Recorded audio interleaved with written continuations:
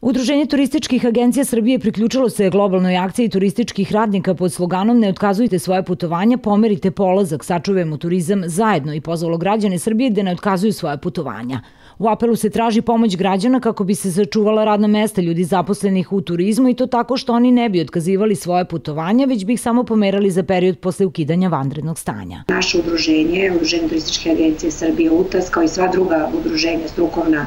iz Srbije su podržale ovaj uh, apel dakle svetskih turističkih radnika, te i mi ovde apelujemo na naše putnike da budu strpljivi, da shvate da jednostavno ovo nije do nas. Sa druge strane, zaista moram da kažem, dani već prolaze i komuniciramo svakodnevno sa našim putnicima koji kad im se lepo objasni i prezentuje gde je problematika, zaista imaju puno razumevanja i zaista svi razumeju i prihvataju ono što im je ponuđeno. Turistički radnici će učiniti sve što je u njihovoj moći da novac koji je već prosleđen partnerima u zemlji i inostranstvu ne propadne, budući da većina hotelijera i prevoznika prihvataju da se izvršene rezervacije samo pomere za druge datume i ostanu punovažne. Utasu se nadaju da će letnja sezona proći bez problema i potrebe za otkazivanjima apelujemo što se letnjih aranžmana tiče da ne radimo otkaze još uvek,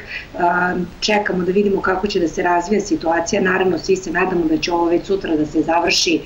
ovaj, ali ide kako ide i nekim svojim tempom, tako da osluškujemo situaciju, pratimo e, direktive ovaj, vlasti i vidjet ćemo kako ćemo dalje reagovati. Dakle, ono što je problem jeste da je globalno turistička industrija u zastoju i da jednostavno e, ceo svet stoji, dakle, ono što je uplaćeno je zarobljeno praktično i e, mi nemamo pristup tom novcu. To nije samo za naše agencije pravilo, dakle ceo svet stoji i jednostavno smo sad u tom vakumu i zato molimo za strpljenje i sve agencije će sigurno biti raspoložene da razgovaraju sa svojim klijentima i da nalaže najbolje moguće rešenje za njih. Navedeno je da će putnicima biti ponuđeni sporazumni raskidi ugovora o putovanju uz obavezu organizatora putovanja da pruže uslugu u vrednosti uplaćenog putovanja u periodu od godinu dana od dana planiranog putovanja. Iz udruženja kažu da će početkom maja biti zvaničnih saopštenja i predloženih rešenja ukoliko se vanredno stanje produži.